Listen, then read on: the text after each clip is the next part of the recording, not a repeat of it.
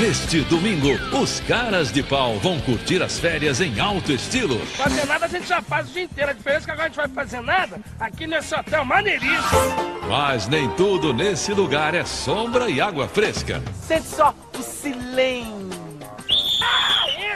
Neste domingo, 15 para as duas da tarde, Vamos entrar no clima.